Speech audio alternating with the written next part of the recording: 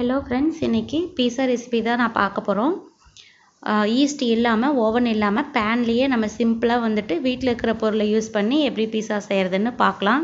First tofu ready பண்ணிக்கலாம். First தயிர் வந்துட்டு எடுத்துக்கலாம். தயிர் வந்துட்டு நான் ஆஃப் கப் எடுத்துக்கிறேன் நான். Baking soda half teaspoon baking powder half teaspoon எடுத்துக்கலாம். அதுவும் தயிரோடு சேர்த்து போட்டுக்கோங்க. சர்க்கரை ஒரு டீஸ்பூன். ஆயிலு சன்ஃப்ளவர் ஆயில் ஒரு மூணு டீஸ்பூன் எடுத்துக்கோங்க. இதுக்கு கடலெண்ணெய் நல்லெண்ணெய் யூஸ் பண்ணக்கூடாது. ரீஃபைண்ட் ஆயில் இல்லைனா சன்ஃப்ளவர் ஆயில் எடுத்துக்கோங்க. இப்போ இதை நல்லா வந்துட்டு பீட் பண்ணி எடுத்துக்கோங்க. அந்த தயிரெல்லாம் நல்லா ஸ்மூத் ஆகணும். சர்க்கரையெல்லாம் நல்லா கரையிற அளவுக்கு ஒரு ரெண்டுலேருந்து ஒரு நாலு நிமிஷத்துக்குள்ளே நல்லா பீட் பண்ணி எடுத்துக்கோங்க. இப்போ பாருங்கள் தயிர் வந்துட்டு நல்லா கரைஞ்சிடுச்சு நல்லா ஸ்மூத்தாக வந்துடுச்சு. சர்க்கரையும் நல்லா கரைஞ்சி வந்துடுச்சு. இப்போ இந்த ஸ்டேஜில் வந்துட்டு நம்ம மாவை ஆட் பண்ணிக்கலாம். மைதா மாவு நான் ஒரு கப் எடுத்திருக்கேன் நான். இப்போ ஒரு கப் மைதா மாவு உள்ளே ஆட் பண்ணிக்கலாம்.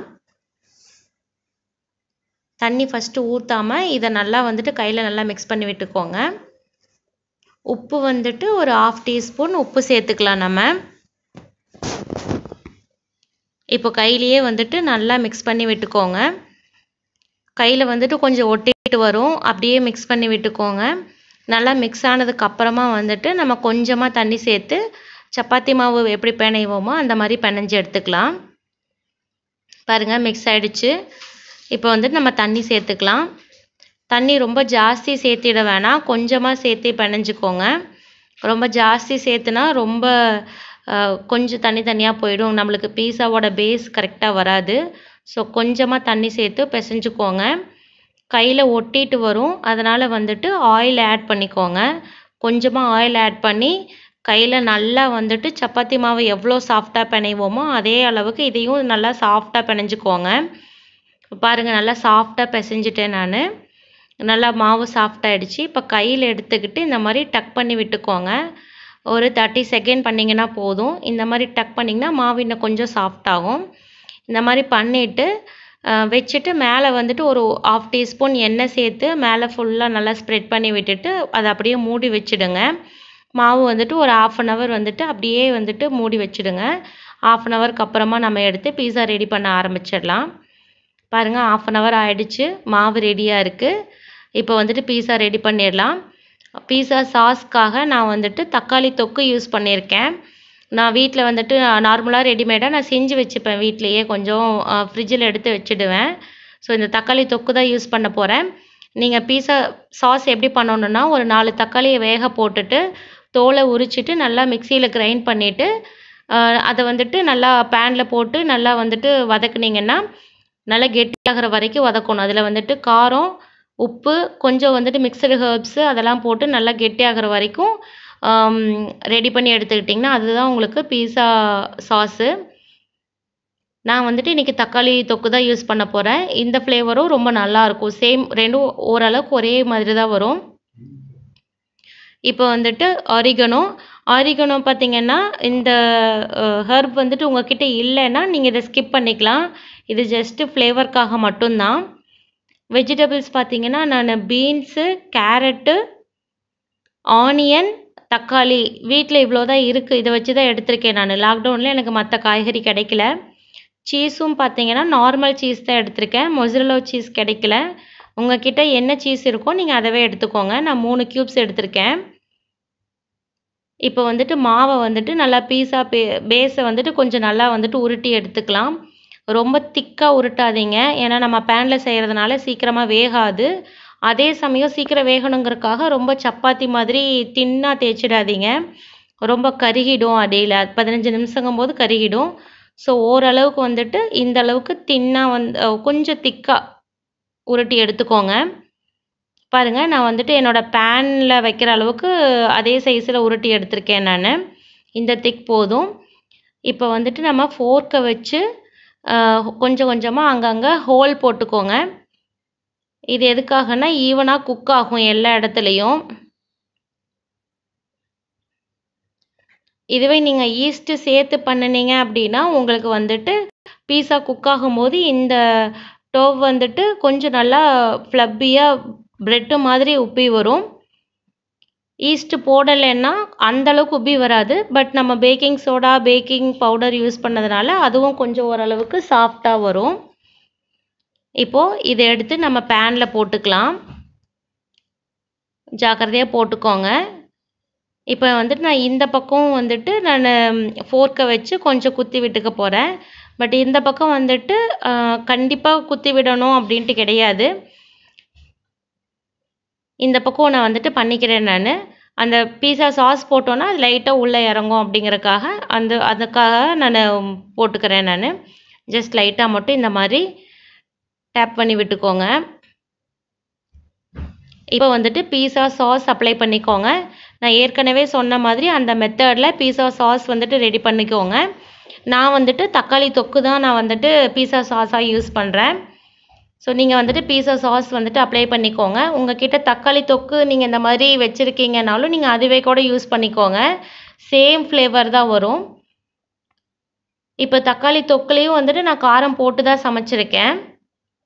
பீஸா நீங்கள் சாஸ் ரெடி பண்ணும்போதும் நீங்கள் மே தக்காளி அரைக்கும் போதும் வரமிளகாய் போட்டு அரைச்சிக்கலாம். அப்படி இல்லைன்னா காரப்பொடி கூட நீங்கள் சமைக்க பீஸா சாஸ் குக் பண்ணும்போது நீங்கள் போட்டுக்கலாம். இப்போ இந்த மாதிரி வந்துட்டு பீஸா சாஸ் வந்துட்டு ஈவனாக வந்துட்டு எல்லா பக்கம் வர அளவுக்கு நீங்கள் வந்துட்டு அப்ளை பண்ணிக்கோங்க. இப்போ நான் தக்காளி தொக்கை வந்துட்டு ஃபுல்லாக வந்துட்டு அப்ளை பண்ணிட்டேன்.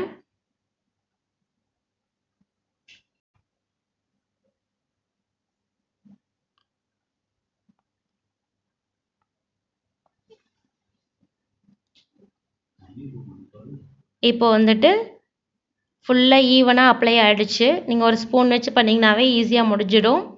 வெஜிடபிள்ஸ் எல்லாம் சேர்த்துக்கலாம். நான் வந்துட்டு ஈஸியாக குக் ஆகிற வெஜிடபிள்ஸுங்கிறதுனால அப்படியே சேர்க்குறேன். உங்களுக்கு வந்துட்டு உங்ககிட்ட இருக்கிற வெஜிடபிள் ஈஸியாக சீக்கிரம் குக் ஆகாத வெஜிடபிள்ஸ் ஏதாவது நீங்கள் சேர்க்கணும் அப்படின்னா நீங்கள் அதை தனியாக குக் பண்ணிவிட்டு ஒன்று ஸ்டீம் பண்ணிவிட்டு இல்லைன்னா பேன் ஃப்ரைடு வெஜிடபிள்ஸ் மாதிரி பண்ணிவிட்டு அதுக்கப்புறம் கூட ஆட் பண்ணிக்கோங்க.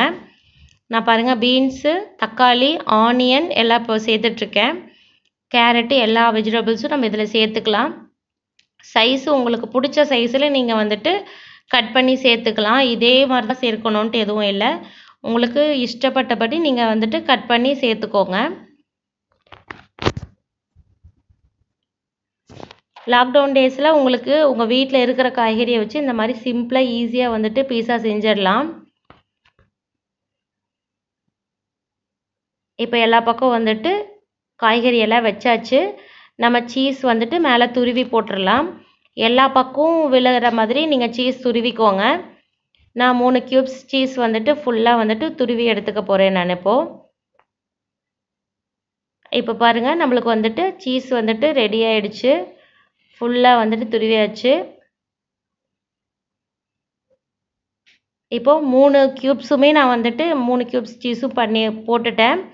ஆரிகனோஸ் ஹெர்ப்ஸ் uh, கொஞ்சமாக போட்டுக்கிறேன். இது ஃப்ளேவருக்காக தான் உங்ககிட்ட இல்லைன்னா நீங்கள் கண்டிப்பாக ஸ்கிப் பண்ணிக்கலாம் இந்த ப்ராசஸை அடுத்தது சில்லி ஃப்ளேக்ஸு சில்லி ஃப்ளேக்ஸ் வந்துட்டு உங்ககிட்ட இல்லைன்னா வரமிளகாயை மிக்சியில் கொரகரப்பாக அரைச்சி எடுத்துக்கோங்க. லைட்டாக ஒரு பத்து செகண்ட் அரைச்சி எடுத்திங்கனாவே உங்களுக்கு சில்லி ஃப்ளேக்ஸ் ரெடி ஆகிடும் நான் வந்துட்டு இப்போ ஒன் சைடுக்கு மட்டும் சில்லி ஃப்ளேக்ஸ் போட்டுக்கிறேன்.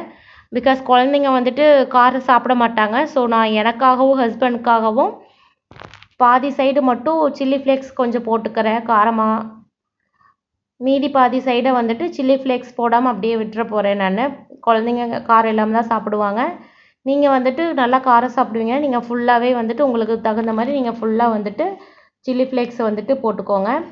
இப்போ நம்மளுக்கு பீஸா வந்துட்டு பேஸ் எல்லாமே ரெடி ஆகிடுச்சு இதை குக் பண்ணிக்கலாம்.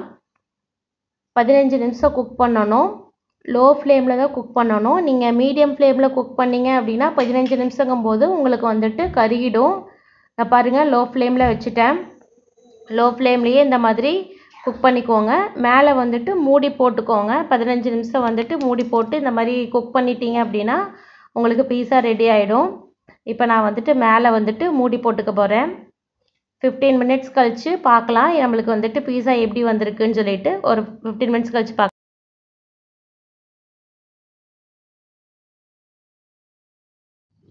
இப்போ பாருங்கள் பதினஞ்சு நிமிஷம் ஆயிடுச்சு. நல்லா பீஸா வந்துட்டு குக்காகி வந்துடுச்சு. நீங்கள் சைடில் வந்துட்டு ஒரு டூத் பிக் வச்சு நீங்கள் செக் பண்ணிங்கனாவே உங்களுக்கு தெரியும். அது வந்துட்டு வெந்திருக்கா இல்லையான்ட்டு நான் கொஞ்சம் சின்ன பீஸ் கட் பண்ணி காமிக்கிறேன் பாருங்கள் நல்லா வெந்து வந்துடுச்சு. அடியில் வந்துட்டு நல்லா கிறிஸ்பியாக இருக்குது சென்டரில் நல்லா சாஃப்டாக இருக்குது உங்களுக்கு வே நீங்கள் குத்தி பார்க்கும்போது டூத்பிக்கில் குத்தி பார்க்கும்போது உங்களுக்கு சரியாக வேகலைன்னு ஃபீல் ஆச்சுன்னா இன்னும் ஒரு அஞ்சு நிமிஷம் இல்லை பத்து நிமிஷம் வந்துட்டு நீங்கள் எக்ஸ்ட்ரா குக் பண்ணி கூட எடுத்துக்கலாம். இப்போ நான் இதை வந்துட்டு கட் பண்ணிக்க போகிறேன் அவ்வளோதான் ஃப்ரெண்ட்ஸ் நம்மளோட பீஸா ரெடி ஆகிடுச்சு homemade without oven pizza ready ஆகிடுச்சு இந்த ரெசிபி உங்களுக்கு பிடிச்சிருந்துச்சுன்னா லைக் பண்ணுங்கள் ஷேர் பண்ணுங்கள் அண்ட் மறக்காமல் கமெண்ட் பண்ணுங்கள் நம்ம சேனலை ஃபஸ்ட் டைம் பார்க்குறீங்கன்னா மறக்காமல் நம்ம சேனலுக்கு சப்ஸ்கிரைப் பண்ணுங்கள் அண்ட் தேங்க்யூ ஃபார் வாட்சிங் ஃப்ரெண்ட்ஸ்